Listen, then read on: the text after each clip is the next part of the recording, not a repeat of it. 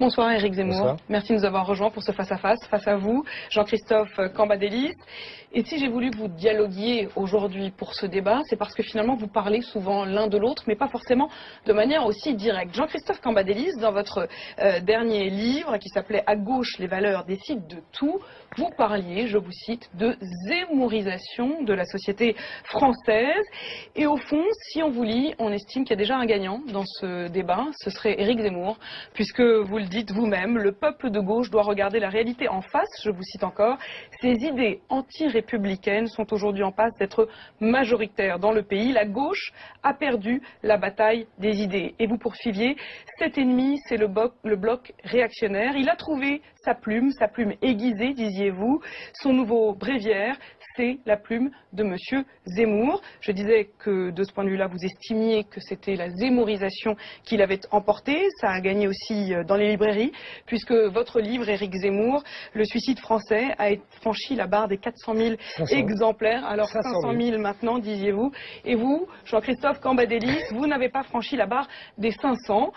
Et justement, où est-ce qu'elle en est, cette bataille des idées, et notamment au travers aujourd'hui de la crise des migrants, de euh, la crise de l'Europe, qui est au bord de l'asphyxie, ou en tout cas euh, de l'explosion. Éric Zemmour, vous connaissez les règles du jeu, vous avez 30 minutes pour débattre, et c'est vous qui avez la parole le premier. Euh, Vous savez, Jean-Christophe Cambadélis est un esprit très subtil. C'est ce que Socrate aurait appelé un sophiste. C'est-à-dire qu'il utilise son intelligence pour raisonner et tromper les gens. Parce qu'en fait, qu'est-ce qui a gagné? Ce ne sont pas mes idées qui ont gagné. M. Cambadélis distingue et fait semblant de confondre, parce qu'en en fait, il sait bien que ce n'est pas la même chose, idéologie majoritaire et idéologie dominante. L'idéologie dominante, c'est l'idéologie des élites, c'est-à-dire des politiques, des médias, de- des, des patrons, et qui est diffusée largement et qui domine la société. Et cette idéologie dominante, Monsieur Cambadélis, elle est née dans les années 50, 60 dans la tête de grands intellectuels français, les Foucault, Deleuze et compagnie. Elle est passée par les universités américaines, les fameux campus des années 60, et elle, elle a un principe, la déconstruction, c'est-à-dire que rien n'est naturel, rien n'existe, tout est une construction artificielle, sociale, tout peut donc être déconstruit. C'est-à-dire qu'il n'y a plus de nation, il n'y a plus de famille, il n'y a plus rien, et même le sexe n'existe pas. Ça, c'est l'idéologie de la gauche depuis les années 60. Ça, c'est l'idéologie dominante. Maintenant, et c'est le seul point juste dans cette histoire, il y a une idéologie majoritaire. C'est-à-dire que la majorité du peuple est en révolte contre votre idéologie dominante. Et quand elle achète mon livre, c'est une manière de se révolter contre votre idéologie dominante qui domine dans les médias, dans les cercles politiques, dans les cercles universitaires, dans les cercles patronaux. C'est ça la différence.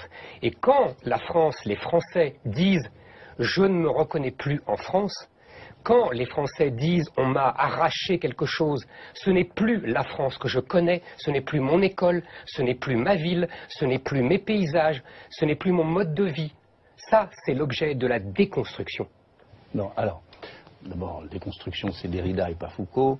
J'ai Euh, j'ai dit Derrida bon, et j'ai dit Foucault bon, aussi, mais c'est le, le mais- même. mais- On va mais pas se pas battre. faire ça On va pas se battre sur les noms parce qu'en l'occurrence Foucault est encore plus mais- efficace que Derrida. Mais je, je- je- crois qu'on est au cœur du sujet, d'emblée. Euh, l'idéologie dominante et l'idéologie maj- majoritaire fusionnaient dans les années 60. C'est-à-dire que à la fois les intellectuels que vous avez cités, qui rayonnaient dans le monde, Absolument. à la suite de Sartre, euh, et qui euh, matriçaient même beaucoup d'idées euh, dans, dans un certain nombre de pays, qui participaient, excusez-moi, du peu, du rayonnement de la France. Absolument. Bon.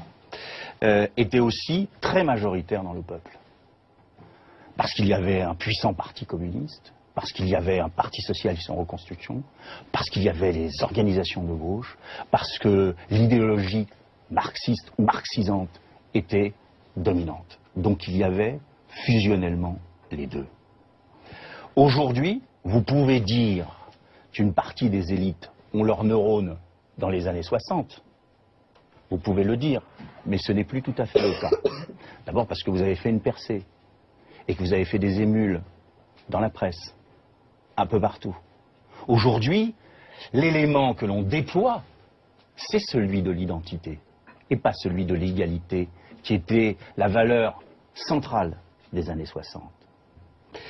Et il est vrai que sur l'impact des mutations dont je parlais tout à l'heure dans la partie euh, euh, précédente, face à la crise extraordinaire euh, à laquelle nous sommes confrontés, qui touche tout, la vie quotidienne de nos concitoyens, la manière de, vivre, de fonctionner, d'être dans cette société, la manière de produire. Vis-à-vis -vis de tout cela, il y a un réflexe, une tentation, une tendance à vouloir remaîtriser sa vie en maintenant ou en tenant ou en étant au plus près de son périmètre. Et comment vous avez perdu Allez-y. Donc, et alors, comment nous avons perdu? Parce que la gauche, dans son ensemble, a eu tendance, et ça nous renvoie à d'autres débats sur, euh, que nous avons abordés tout à l'heure, à être conservatrice. C'est-à-dire qu'elle avait des valeurs, des principes, mais finalement, vous allez être d'accord tous les deux sur ce point. Non, non, non, pas, du pas, du tout, pas, du tout, pas du tout, pas du tout. Nous savons et l'un et l'autre où nous allons. Donc, la, gauche a eu, euh, elle, a des, elle, a des, valeurs, elle a des principes, euh, mais elle ne les a pas plongés dans la réalité actuelle. Et donc, à partir de là, ils sont, ces valeurs sont apparues comme n'étant pas efficaces par rapport à leurs promesses dans le moment présent. Et donc, mais, mais, quel aveu, M. Mais c'est bien. Vous donc, venez merci. dire, vous venez donc, dire donc, une chose donc, essentielle. Attends, je termine, je termine. Je vous en prie. Et donc, une partie du peuple nous renvoie à nos promesses. Et je termine. La question n'est pas de séparer les gens, de dire qu'aujourd'hui, euh, ils vont retrouver, ou ils vont trouver, comme le propose M. Zemmour, un avenir dans ce qui est la proximité et l'identité opposées au commun, c'est de construire le commun de nos sociétés. Monsieur Cambadélis, vous venez de faire un aveu extraordinaire. Vous venez de dire que la gauche, votre gauche, vos prétendues valeurs républicaines, ce mot que vous employez toujours d'ailleurs complètement à contre-emploi, mais je pense qu'on n'aura pas le temps de débattre là-dessus, vos valeurs avaient ignoré la réalité. Mais oui, mais c'est justement tout le problème. C'est la réalité qui vous chasse. C'est la réalité qui vous conteste. C'est la réalité, ce n'est pas moi. Ce n'est pas la zémorisation de la société.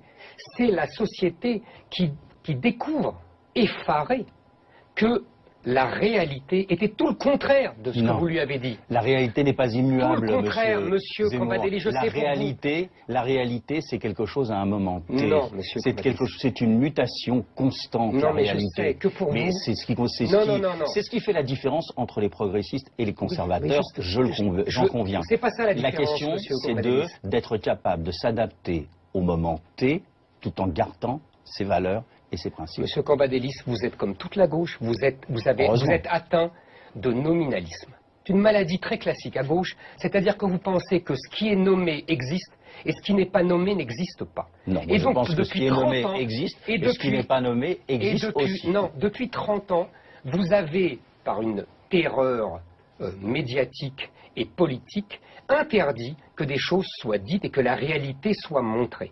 Et quand elle est, dite, elle est dite, que les gens disent Ah bah oui, c'est ça la réalité. Vous dites Oh là là, c'est scandaleux, c'est le bloc réactionnaire, euh, c'est infâme, fasciste, anti-républicain. Non, monsieur Combadélis, c'est la, la, réalité je, qui, est, pas réactionnaire. Ce terme, je, n'emploie pas ce terme-là parce que je crois euh, qu'il faut prendre en compte la réalité du mouvement que vous incarnez.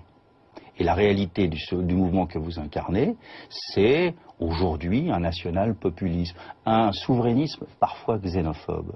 C'est ça la réalité. Mais ça existait d'autres façons auparavant. Mais ça existait dans l'entre-deux-guerres d'une manière extrêmement bah, puissante, beaucoup plus puissante euh, qu'aujourd'hui, avec des forces sociales qui étaient extrêmement fortes. La gauche avait réussi à l'emporter. Et moi, ce que je reproche aujourd'hui, c'est que la fragmentation de la gauche, permettez-moi de faire juste une parenthèse pour mon camp, la fragmentation de la gauche permet à ces idées de devenir majoritaires. Ça, vous Éric vous Zemmour, vous débrouillez parliez avec de la eux, réalité, vous parliez de la réalité qui n'était pas nommée. Vous pensez à quoi concrètement, justement, pour qu'on soit c'est concret très simple. et qu'on ne soit pas dans le fait de ne pas C'est en très parler simple. Et De quoi d'ailleurs, lisez Cambadélis, vous avez employé le mot, le mot magique. Avant, on disait fasciste. Hein, de Gaulle était traité de fasciste. Et puis tous ceux qui n'étaient pas de gauche étaient traités de fascistes, vieille technique, vieille technique stalinienne. Et puis maintenant, on l'a modernisé. Maintenant, c'est populiste. Mais je vais vous dire, Monsieur Cambadélis, moi, je suis fier d'être traité de populiste. Parce que d'abord, populiste, ça vient de peuple. Et si vous étiez fidèle à la gauche, vous sauriez que le populisme, c'est un mouvement qui vient de gauche, et qui vient des États-Unis, qui vient de Russie. Et le populisme, c'est la défense du peuple. Et la défense du peuple aujourd'hui, qu'est-ce que c'est? C'est le peuple qui ne veut pas, qui ne veut pas qu'on lui arrache son mode de vie, son pays, sa civilisation, qui ne veut pas être remplacé par d'autres populations venues d'ailleurs avec votre complicité. Voilà, Monsieur Cambadélis, alors, migrants, vous pensez aux migrants Attendez, attendez, Éric 30, Zemmour 30 secondes sur la Allez-y. question, de, la question du populisme. Le populisme, c'est pas tout à fait ça, mais je vous laisse. Bah, euh, excusez-moi, euh, si vous voulez, on fait une- mais attendez, un je populisme américain et populisme. Mais on va parler des Français. On va parler des Français. Mais ça ne m'étonne pas que euh, M. Zemmour estime que le populisme russe est quelque chose d'intéressant. Ce n'est pas étonnant. Le populisme, c'est quelque chose qui est né en Amérique latine. C'est la fusion entre le peuple et la nation. Non, monsieur ça n'est pas né en Amérique latine, ça né aux États-Unis et ça né en Russie au début mais- du siècle. Vous n'allez pas devenir deux professeurs, Deux- pour expliquer, deux professeurs d'idées ou d'histoire ou d'histoire politique. Il en faut de temps en temps. Mais simplement, et des migrants, simplement. Mais on va parler des migrants. On va parler des migrants. Qu'est-ce que cela veut dire? Ça veut dire que le, le- le- le responsable populiste, le chef des populistes, fait croire au peuple que les idées justes naissent au sein du peuple et qu'il a toujours raison. Pas du tout. Bon, donc pas du tout, nous sommes d'accord. Donc, euh, Mais les élites non simplement, plus n'ont pas toujours raison. Mais- non. Non, je vous le fais pas Voilà. dire. C'est pour ça qu'on a inventé 30 la, ans, c'est pour on ça dit qu'on au a inventé peuple la démocratie. Non. Et que quand il parle, Non. quand il veut s'exprimer, on lui dit Non. populiste et toi. Non, Si, moi, moi et vous comme l'ensemble des hommes, de femmes et de gauche, on fait l'inventaire. On ne confond pas, on ne globalise pas le peuple. Il y a des choses qui sont pas acceptables. Le racisme, ce n'est pas acceptable. L'antisémitisme, ce n'est pas acceptable. La folie de certains nombres, regardez sur les réseaux sociaux, d'attaques contre nos compatriotes musulmans, ce n'est pas acceptable. L'espèce de chasse à tous ceux qui, de près ou de loin, parlent de l'islam, ce n'est pas acceptable. Voilà la distinction. Mais aujourd'hui, ces idées-là, ces idées-là, elles sont majoritaires. Monsieur Cambadélis, c'est trop Et c'est pour facile. cela que je mène le C'est combat trop contre elles. facile. Qui est, qui est responsable de ces phénomènes-là?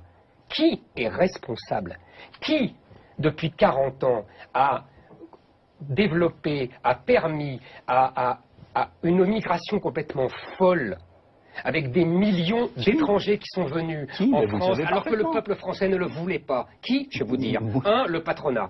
Deux, Giscard et Chirac. Voilà, vous revenez à vos marottes, c'est dans tous vos bouquins. Absolument. Absolument. Trois, regroupement familial, trois, la gauche Bon, qui a empêché l'expulsion des chômeurs maghrébins dans les années 70, comme ça s'est toujours fait sous la République, et qui a régularisé tous les clandestins, voyez, permettant vous- l'explosion Vous du expliquez regroupement votre programme. familial. Votre programme, c'est que tous ceux qui sont issus de l'immigration n'ont pas leur place parce que, comme vous l'avez dit tout à l'heure, ils défigurent ou remettent en cause l'identité française. Moi, je ne suis pas sur cette thèse. Excusez-moi, je, suis pour une fini. France. Je suis pour une France ouverte, pas à tous les vents, À peine. ouverte à la mondialisation, capable d'intégrer, progressiste, dans les valeurs, dialoguant, prenant chez l'autre ce qu'il y a le meilleur, une France qui rayonne, une France ouverte Mais sur l'Europe. ce sont des Vous- mots, ça, Mais monsieur non, non, ce pas des mots, ce sont des réalités. La France, ce n'est pas un no man's land, Monsieur Cambadélis. Ce n'est pas une terra nullus, Monsieur Cambadélis. C'est un pays qui a une histoire, qui a une culture, Mais qui a une civilisation, qui est sorti, un, de la religion chrétienne, deux, de la culture gréco-romaine. Ce n'est pas n'importe quoi. Ce n'est pas le Panama ou le, le Guatemala ou le pas Chili. insultant avec les autres Mais je ne pays. suis pas insultant avec les autres. vous- Mais vous avez très mais bien compris ce que je veux dire. La Quand vous France, dites- mais on n'a pas les mêmes références. Ben oui, moi, la, France, pour moi, la France, c'est la révolution Révolution française, c'est le combat pour le chevalier de Bar, c'est le Voltaire, c'est la, tolérance, la France, c'est le combat qui a été mené pour, pour, pour la décolonisation. C'est ça la Monsieur France. Cambadélis, cette France-là, justement, elle naît de la France chrétienne et de la France gréco-romaine. C'est ça que vous ne aujourd'hui- voulez pas comprendre. Aujourd'hui, aujourd'hui, vous parliez tout à l'heure, Éric Zemmour, d'un peuple français qui, je vous cite, aurait peur du grand remplacement. Mhm. Qu'est-ce que vous répondez à ça, Jean-Christophe Cambadélis Que les Français n'ont pas peur d'être remplacés. Ah, vous Les ne discutez Français- pas avec eux. hein. Les, les Fran- les Français sont sûrs de leurs valeurs. Et ils se sentent capables d'intégrer tout le monde. Ce qu'ils ne veulent pas, c'est qu'au nom d'une religion, d'une idéologie, on vienne leur dire ce qu'ils devraient faire. Ça, ils ne le tolèrent pas. Mais pour le reste, il suffit de regarder les stades de football, il suffit de re- regarder les fêtes qui se font un peu partout. Il y a du racisme, il y a l'antisémitisme, et il y a une xénophobie en direction euh, des musulmans. Mais la majorité des, des Français veulent une France fraternelle et laïque.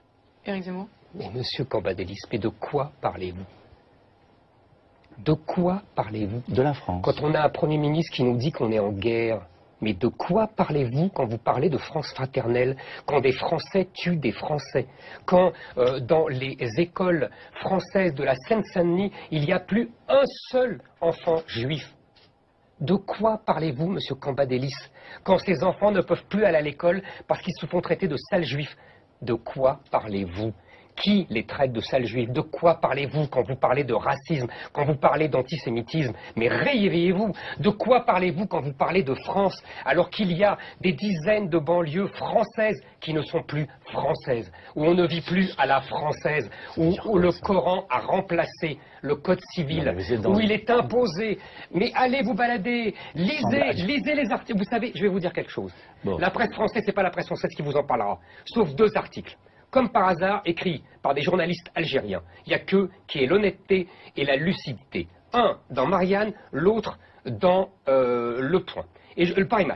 Et je vous recommande ces deux articles. L'un c'est sur Saint-Denis et l'autre c'est sur Avignon.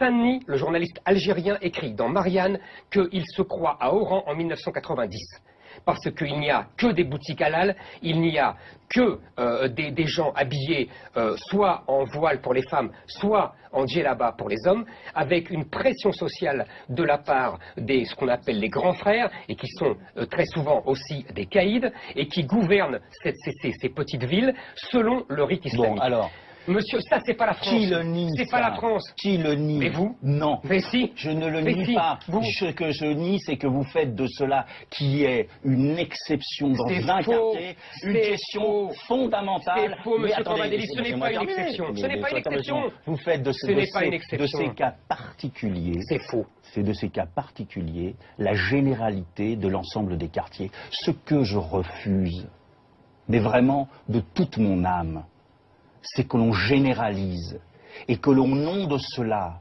on fasse peur aux Français, on leur dise qu'ils sont finis en tant que Français républicains, parce qu'il y a des gens qui vont les envahir et qui vont substituer une autre culture que la leur. Monsieur- Non, c'est beaucoup plus complexe que ça. Sur les Cambadélis. 5 millions de euh, Français musulmans ou d'origine, c'est beaucoup plus complexe. rien. Ouais, bah d'accord. On n'en Mais sait rien. On Parce que justement, mais- euh, c'est interdit de faire des statistiques, bon, euh, mais c'est au moins les chiffres que l'on avance. Donc, Les chiffres vous savez parfaitement, plus que d'autres, par votre histoire et votre culture, que ce mélange existe, que l'on s'intègre dans la société républicaine. Quand on sépare, quand on se sépare, on se prépare une France à la libanaise. Bah D'un oui, côté, mais il y oui. aura des communautés oui. et de l'autre côté, d'autres communautés. Il faut intégrer, il faut la République, il faut faire en sorte que ce qui est la fraternité, oui, puisse continuer à exister dans Monsieur notre société. Cambadélis, ce sont des incantations verbales que Non, vous pas du faites. tout, pas du tout. Et je vais vous dire. Vous parce pouvez que- encore traverser Paris ou la banlieue sans problème quand même. Ah oui, ah oui, ça dépend voilà. où. Ça dépend où. Et la banlieue, ça dépend où. Et moi, je peux vous dire que dans tous les quartiers où j'ai grandi, vous voyez, c'est simple ça, puisque vous avez fait référence à, à mes, à mes origines, et je vais revenir. Tous les quartiers où j'ai grandi, que ça soit à Montreuil, que ça soit à Drancy, que ça soit à Perfit, que ça soit dans le 18e arrondissement de Paris. Voilà tous les arrondissements, tous les quartiers où j'ai grandi. Le grand remplacement, puisque ce mot est, paraît-il, tabou, ce n'est pas, tabou, c'est le vôtre. Ce n'est pas... Non, non, non, non, Ainsi, que M. Camus, qui est un sais bien. Alors je vais vous dire, non seulement ce n'est pas un mythe, non seulement ce n'est pas une propagande, mais c'est une réalité. Dans tous les quartiers où j'ai grandi, c'est fini. Il n'y a plus que des gens qui n'étaient pas français il y a encore 30 ans. Il n'y a plus un français de souche. Deuxièmement, puisque vous avez parlé ah, de mes... de mes... sommes. Il y a les Français de souche, et Français, Français de Mais moi, j'ai pas honte, j'en suis pas. Oui, oui, Alors, je peux en parler des Français de souche, vous savez. Moi, je m'appelle pas Martin. Donc, je, je suis tranquille. Et je vais vous dire, puisque vous avez dit, c'est votre histoire, etc., il y a une différence fondamentale, Monsieur Cambadélis. En fait, il y en a deux. La première, c'est que quand j'étais enfant, on n'intégrait pas. On assimilait. Et ça change tout. Fernand Brodel, le grand historien, a dit l'assimilation a permis l'intégration de nombreux étrangers et qui ont ajouté à la culture complexe française une nuance. voilà, Monsieur Cambadélis, une nuance. Ils n'ont pas remplacé la population. Mais, vous, vous voyez mais, je le vois partout. Française est de remplacer, mais partout, mais tous les Français le voient. tous les Français le voient, Monsieur Cambadélis. Il y a aujourd'hui d'innombrables quartiers où la France n'est plus la France. Et j'ai pas fini. Et c'est vous, et c'est vous, Monsieur Cambadélis, c'est vous, la gauche, qui avez, au nom du droit à la différence, détruit cette assimilation. C'est vous qui avez empêché, qui avez, avec SOS Racisme, défendu une nouvelle conception de l'intégration, comme vous dites. C'est vous, la gauche, qui en 93 avez supprimé la loi, j'ai pas fini, avez supprimé la loi qui datait de je pas, j'entends et je compte. Qui, bon, qui a supprimé la loi qui datait de Bonaparte et qui obligeait les gens à choisir un prénom dans le calendrier chrétien. Tout. Pas du tout, les monsieur. Périodes, pas les situations. Et deuxièmement, j'ai oublié, j'ai fini. Deuxièmement, ce qui rend impossible cette assimilation, comme de mon temps, puisque je vous réponds, c'est le nombre. Le général de Gaulle disait, et j'ai fini, on n'assimile pas des peuples, on assimile des individus. Vous avez fait venir des peuples, et bien vous aurez la situation à la libanaise. Non. Il y, y, a un élément que vous ne percutez pas. C'est qu'entre-temps, dans votre jeunesse et la situation maintenant, il y a eu la ah, décolonisation. Ah, celle-là il y a eu la décolonisation. Allez-y. Et la décolonisation faisait que, enfin la colonisation faisait que ces Algériens, pour la plupart d'entre eux, étaient des Français de seconde zone. Je vous écoute, je, vous interromps pas, je vous écoute, je réponds. De seconde zone. Et ce qui a été, ce qui a produit ce que l'on a vécu et ce que l'on a euh, subi ou ce qu'on a vu euh, en Algérie. Deuxièmement, par rapport au nombre au nombre de Français issus de l'immigration, notre système fonctionne. Il intègre, il assimile, mais en même temps, mais en même temps, il intègre une minorité, mais il n'assimile plus. Non, c'est pas pareil. Jusqu'au bout. L'intégration, c'est l'économie. Non, non, non, ça n'a rien à voir avec l'assimilation, c'est pas la culture. Il, il, assimile et se transforme. C'est faux. Et c'est normal. Et c'est normal. Parce que ce que vous dites derrière, parce que sur, le français peut vous écouter en disant il n'a pas tort. Bah oui, j'ai raison même. Bon, mais ce que vous dites derrière, ce qu'il faut dévoiler, si vous me permettez l'expression. Et déconstruire, c'est que, Oui, et déconstruire. Ce qu'il y a derrière une obsession par rapport à une religion. Parce que c'est là, vous avez parlé du Coran. Hum, absolument. C'est par rapport à cela que vous vous déterminez. Absolument. Donc ce, que, qui veut dire, ce n'est pas que des gens viendraient euh, en France, c'est qu'il y a une religion qui ne pourrait pas être intégré dans la République. Oui, monsieur Campbell. voilà. Donc, oui, monsieur Campbell. Votre position, moi, je veux produire du commun. Vous, vous voulez produire de la séparation. C'est des incantations. Ce n'est pas des incantations. Vous pouvez, vous n'y avait pas ça. Sur, sur un, comme un cabri en disant intégration, intégration, intégration. Le général de Gaulle sur l'Europe. Merci. Évidemment, vous avez vos classiques. Ça ne marche simplement, simplement, je vous dis, simplement, je vous dis ces gens-là, ils sont là, ils sont français et ils resteront. Monsieur Donc, travaillons à ce que la République puisse fonctionner, qu'elle soit laïque, indispensable, fondamentale. Et d'ailleurs, le Parti Socialiste va travailler sur cette question de l'identité dans ses cahiers de répondre la présidentielle au mois euh, de décembre. Mais c'est fondamental. Non, oui, c'est très bien ça. Je connais Bon, tout, tout ce non, mais alors, si vous cœur. connaissez Non, mais parce et que, que vous parce voulez là, pas vous écouter, pas répondre. Mais- vous mais je- vous- je- je suis désolé. Vous, vous accumulez beaucoup de contre-vérités et j'aimerais non, non, non, répondre. non, il n'y a pas de contre-vérité en l'occurrence. il y a beaucoup de contre-vérités. Je vais vous dire. Vous ne m'aurez pas avec, vous essayez de désigner ceci, cela. Moi, je- j'assume ce que je dis Mais et je, je et sais je très bien. dis ce que je pense. Eh C'est Je c'est vais pour ça que je vous critique. Il n'y a, il n'y a- l'islam n'est pas compatible ni avec la République ni avec la France. Bon, on fait quoi J'ai pas fini. J'ai On fait pas fini. quoi J'ai pas fini. On fait quoi Je n'ai pas fini. Alors on fait quoi Je n'ai pas fini. On interdit l'islam Je n'ai pas fini. Mais allez-y Non, oui, je vais parler. Ben, si vous me laissez parler, On l'interdit je, je vais finir. L'islam n'est pas compatible ni avec la République, parce que la République, c'est le pouvoir du peuple, et l'islam, c'est le pouvoir de Dieu, ni avec la France. c'est le cas de toutes les religions. Non, Euh, non, monsieur Cambadélis. Dans la, dans la religion, oui, vous avez tout à fait raison. Bon. Dans la religion chrétienne, n'oubliez pas qu'il y a rendez à César ce qui appartient à César et à Dieu ce qui appartient à Dieu. Dans le judaïsme, vous avez tout à fait raison, c'est la même chose, c'est très proche de l'islam pour ça, c'est le Bon, pouvoir bien de Dieu. Sauf on que, interdit l'islam, on interdit. vous euh, pouvez me laisser l'islam, finir, je ne vous ai pas interrompu. Sauf que, Sauf que, sauf que, depuis 1807 et Napoléon, Napoléon a obligé, et je lui en rends grâce encore aujourd'hui, les juifs, les français de confession juive, à choisir dans leur religion ce qui est- allait avec la France, ce qui allait avec la France et ce qui n'allait pas avec la France. donc vous demandez, en fait, vous demandez à François Hollande de faire Non, je ne suis pas d'accord avec vous. Vous êtes d'accord avec moi que le travail, que le travail à faire est celui de produire du commun Non, Le travail à faire, c'est celui de faire en sorte que la. République Ça, c'est du intègre les- monsieur Cambadélis, c'est du Pourquoi quand je parle c'est du pipeau Parce que je vais vous dire pourquoi. c'est du génie Je vais vous dire pourquoi. Je vais vous dire pourquoi. Parce que pour faire ce travail-là avec l'islam, c'est un travail énorme. Parce que il y a ou d'innombrables. pas le faire Ah oui, il faut le faire. Bon bah voilà Il faut le faire. Sauf que, Voilà. sauf que, Vous voyez bien que vous butez sur quelque chose qui n'est pas non, sauf que vous n'y arriverez pas. Ah bah alors donc, Voilà. Qu'est-ce vous qu'on n'y fait arriverez pas. qu'est-ce qu'on fait Simplement, il faut poser des termes aux musulmans pour leur dire qu'il peut y avoir des musulmans français, mais qu'il n'y a pas d'islam français. Mais- ça n'existera jamais. C'est-à-dire qu'il faut que Ça, les musulmans Ça, se détachent de l'islam. Non. c'est la bientôt, c'est bientôt la fin de ce débat. Bah oui, bah sur, ce comme point, ça. sur ce point, Jean-Christophe Cambadélis Ben, vous savez, il- il, euh, je, je- je constate, bon, c'est une position qui est, qui est déployée et développée par M. Zemmour et, et par d'autres. C'est la séparation euh, des Français de souche, euh, des musulmans. Bon. Et je constate le grand paradoxe de la situation actuelle, c'est que chez les frères musulmans, par exemple en France, c'est la même thèse. Ah oui. Et que je, je trouve que les deux, ceux qui sont sur l'identité et ceux qui sont sur la spécificité musulmane, sont aujourd'hui dans les deux grandes séparations.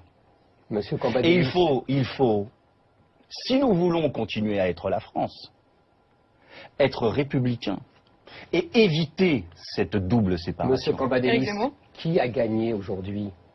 Qui dans La la, jeune génération Non? La. République. Dans la jeune génération. mais dans, dans la Dans la jeune génération Qu'est-ce qui reproche qui C'est- a qu'est-ce qu'on gagné C'est les frères musulmans, Qu'est-ce qui- reproche Mais, mais- d'abord, ne confondons pas tout, ne mélangeons pas tout. Je ne mélange rien du tout. Qui a gagné Mais Mais qu'est-ce qu'ils disent Qu'est-ce qu'ils disent. Ils disent vous vous adaptez trop à la société française, vous buvez du vin, vous, vous ne portez pas le voile, vous avez 20 etc. ans de etc. retard. Ne- Vous avez 20 ans de retard, monsieur pas avoir Sûrement un temps pas. de retard, juste pour conclure ce débat sur l'enjeu aussi aujourd'hui, la question des migrants qui se pressent à nos portes. Un mot là-dessus, Eric Zemmour, et ensuite je Voilà, vais entendre. encore Monsieur Cambadélis, qui avec toute la gauche a magnifiquement réussi. Qu'est-ce qu'il nous a Il nous a vendu l'Europe sans frontières. Il nous a vendu la frontière de l'Europe au Pirée. Même Monsieur Pierre Jox, on apprend maintenant qu'il avait alerté François Mitterrand à l'époque. Il nous a vendu l'Europe magnifique. Qu'est-ce qu'on a? On a une frontière passoire et des millions de migrants qui arrivent et qui vont pour l'instant en Allemagne grand bien leur face, ils ont déjà, déjà euh, compris ce qui leur était arrivé euh, et qui vont petit à petit aller dans toute l'Europe. Ça, c'est le résultat encore, c'est toujours la même chose. Tout ce qu'on fait, en fait, il y, a une- il y a une justice divine, si j'ose dire. Oui. C'est-à-dire que tout ce que vous avez fait il y a 30 ans, ça vous tombe dessus aujourd'hui. Jean-Christophe Cambadélis. Les migrants, il faut tarir, il faut contenir, il faut répartir et il faut punir. Il ne faut pas faire le moulin à parole. C'est vous Il qui faut faites le la tarir, parole. il faut tarir, Je ne fais rien. Eric Zemmour, on va laisser Jean-Christophe Cambadélis conclure. il faut tarir, c'est-à-dire qu'il faut faire en sorte qu'il n'y ait plus de flux, et ça passe par un combat acharné de guerre en Syrie, puis de paix. Aucun rapport. Deuxième, deuxièmement, non, mais non, ils pas de Syrie, oui. Ouais. Deuxième, Non, si, deuxièmement, mais pas seulement de il faut Syrie, contenir, il faut des moyens pour la Turquie, pour le Liban, pour la Jordanie et pour la Grèce. Il faut des moyens. Puis il faut répartir en Europe. Parce que quand il y a des réfugiés, je le disais tout à l'heure, c'est une nécessité humaine et en même temps une nécessité juridique. Il faut répartir. Et enfin, il faut punir. C'est ce qu'a fait euh, le gouvernement et M. Cazeneuve, qui a réussi, là où tout le monde avait échoué, à dé- démanteler un certain nombre de filières de Monsieur Zemmour, je vois, je vois que Monsieur- vous, vous, vous bondissez sur votre Monsieur chaise, mais c'est la fin de ce on fera débat. rien du tout, car on n'arrête pas des envahisseurs avec des bonnes paroles. Vous êtes un pessimiste militant, monsieur Voilà, c'est tout. L'Australie, elle, elle les repousse vraiment. Pessimiste d'un tout. côté et optimiste tous les deux finalement indécrottables. Merci d'avoir débattu, c'est la fin de ce débat.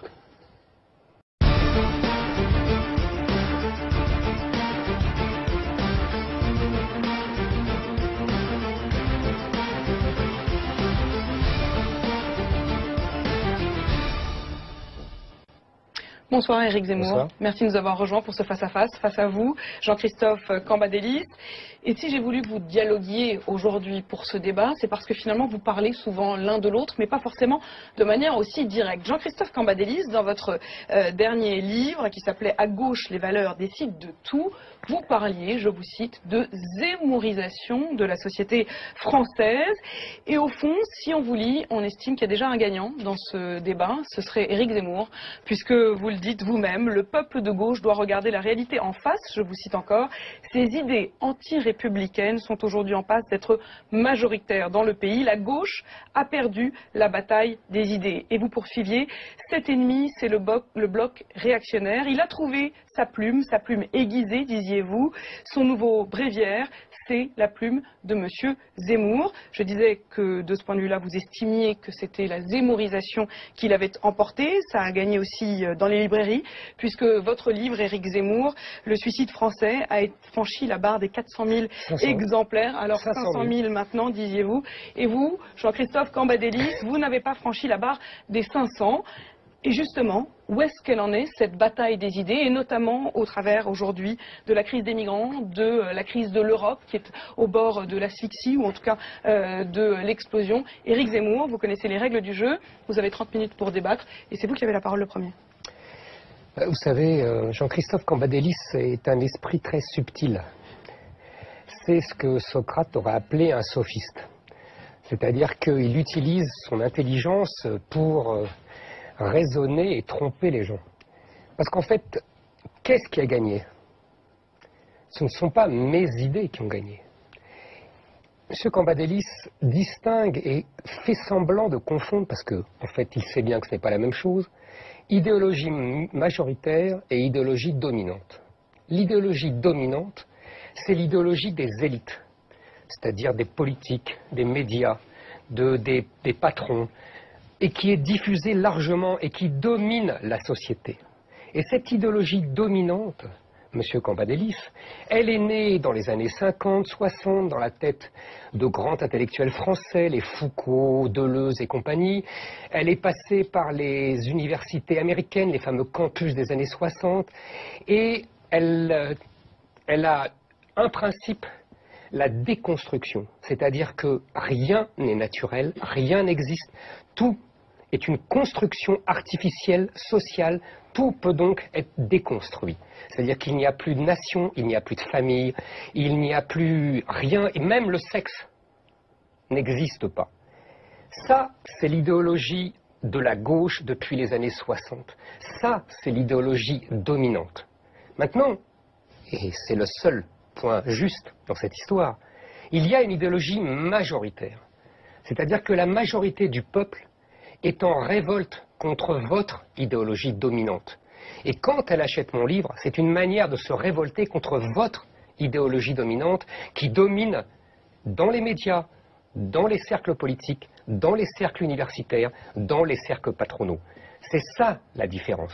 Et quand la France, les Français disent je ne me reconnais plus en France, quand les Français disent on m'a arraché quelque chose, ce n'est plus la France que je connais, ce n'est plus mon école, ce n'est plus ma ville, ce n'est plus mes paysages, ce n'est plus mon mode de vie. Ça, c'est l'objet de la déconstruction. Non, alors, D'abord, déconstruction, c'est Derrida et pas Foucault. Ah, j'ai dit Derrida et j'ai dit Foucault aussi, mais c'est le, le, même. on ne va pas se battre. On va pas se battre sur les noms parce qu'en l'occurrence, Foucault est encore plus efficace que Derrida. Mais je, crois qu'on est au cœur du sujet, d'emblée. Euh, l'idéologie dominante et l'idéologie majoritaire fusionnaient dans les années 60. C'est-à-dire que à la fois les intellectuels que vous avez cités, qui rayonnaient dans le monde, absolument, à la suite de Sartre, euh, et qui euh, matrissaient même beaucoup d'idées euh, dans, un certain nombre de pays, qui participaient, excusez-moi, du peu, du rayonnement de la France. Absolument. Bon. étaient aussi très majoritaires dans le peuple. Parce qu'il y avait un puissant parti communiste, parce qu'il y avait un parti socialiste en reconstruction, parce qu'il y avait les organisations de gauche, parce que l'idéologie marxiste ou marxisante était dominante. Donc il y avait fusionnellement les deux. Aujourd'hui, vous pouvez dire qu'une partie des élites ont leurs neurones dans les années 60. Vous pouvez le dire, mais ce n'est plus tout à fait le cas. D'abord parce que vous avez fait une percée et que vous avez fait des émules dans la presse, un peu partout. Aujourd'hui, l'élément que l'on déploie, c'est celui de l'identité pas celui de l'égalité, qui était la valeur centrale des années 60. Et il est vrai que sur l'impact des mutations dont je parlais tout à l'heure dans la partie euh, euh, précédente, face à la crise extraordinaire euh, à laquelle nous sommes confrontés, qui touche tout, la vie quotidienne de nos concitoyens, la manière euh, de, vivre, de fonctionner, euh, euh, d'être dans cette société, la manière de produire. Vis-à-vis de tout cela, il y a un réflexe, une tentation, une tendance à vouloir remaîtriser sa vie en maintenant ou en tenant ou en étant au plus près de son périmètre. Et comment vous avez perdu? Allez-y. Donc, et alors, comment nous avons perdu? Parce que la gauche, dans son ensemble, a eu tendance, et ça nous renvoie à d'autres débats sur, euh, que nous avons abordés tout à l'heure, à être conservatrice. C'est-à-dire qu'elle avait des valeurs, des principes. Mais finalement, vous allez être d'accord tous les deux sur ce point Non, non, non, pas, du pas, du tout, pas, du tout, pas du tout, pas du tout. Nous savons et l'un et l'autre où nous allons. Donc, la gauche a eu, euh, elle, a des, valeurs, elle a des principes, euh, mais elle ne les a pas plongés dans la réalité actuelle. Et donc, à partir de là, ils sont, ces valeurs sont apparues comme n'étant pas efficaces par rapport à leurs promesses dans le moment présent. Et donc, mais, mais, quel aveu, monsieur Mais c'est bien. Vous donc, venez merci. dire, vous venez de dire une chose essentielle. Attends, je termine, je termine. Je vous en prie. Et donc, une partie du peuple nous renvoie à nos promesses. Et je termine. La question n'est pas de séparer les gens, de dire qu'aujourd'hui, euh, ils vont retrouver, ou ils vont trouver, comme le propose M. Zemmour, un avenir dans ce qui est la proximité et l'identité opposées au commun. C'est de construire le commun de nos sociétés. Monsieur Cambadélis, vous venez de faire un aveu extraordinaire. Vous venez de dire que la gauche, votre gauche, vos prétendues valeurs républicaines, ce mot que vous employez toujours d'ailleurs complètement à contre-emploi, mais je pense qu'on n'aura pas le temps de débattre là-dessus, vos valeurs avaient ignoré la réalité. Mais oui, mais c'est justement tout le problème. C'est la réalité qui vous chasse. C'est la réalité qui vous conteste. C'est la réalité, ce n'est pas moi. Ce n'est pas la zémorisation de la société, c'est la société qui, découvre, effarée, que la réalité était tout le contraire de ce que vous lui avez dit. La réalité n'est pas immuable. Tout le contraire, monsieur, monsieur je la sais réalité, La réalité, c'est quelque chose à un moment T. Non, monsieur C'est quelque c'est une mutation constante, non, la mais réalité. Je sais que pour mais c'est ce qui, c'est ce, ce qui fait la différence entre les progressistes et les conservateurs. je le j'en conviens. C'est pas ça la différence. La question, c'est de d'être capable de s'adapter au moment T tout en gardant ses valeurs et ses principes. Monsieur Cambadélis, vous êtes comme toute la gauche, vous êtes, vous avez, vous Heureusement. êtes atteint de nominalisme. C'est une maladie très classique à gauche, c'est-à-dire que vous pensez que ce qui est nommé existe et ce qui n'est pas nommé n'existe pas. Non, et je donc, pense que ce depuis qui est 30 nommé ans, existe et et, ce qui depuis- n'est pas nommé existe depuis, aussi. non, depuis 30 ans, vous avez, par une terreur euh, médiatique et politique, interdit que des choses soient dites et que